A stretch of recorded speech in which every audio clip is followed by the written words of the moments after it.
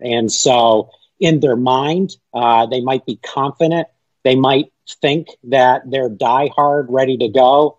But unfortunately, they're more like Tiger King, and uh, they're putting themselves and their families in danger.